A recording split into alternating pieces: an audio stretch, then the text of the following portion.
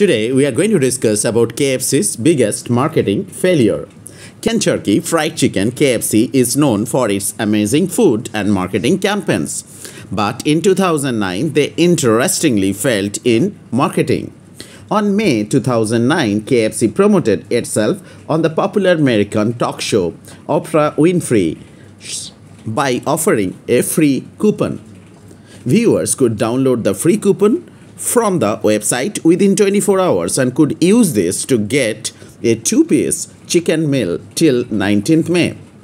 KFC had not done any research about the response of the customer and 10.5 million coupons were downloaded as it was free.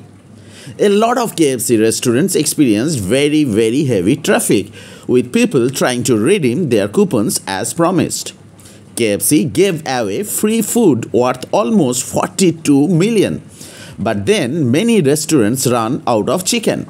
Thus KFC could not deliver what they had offered.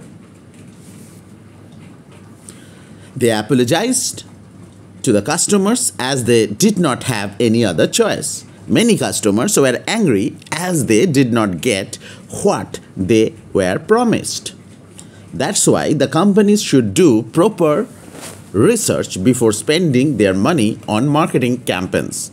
So that's all for today. We'll be coming back shortly with some more interesting content on this management charts where we used to discuss about various topics related to marketing management, human resource management, public relation, advertisement and many more.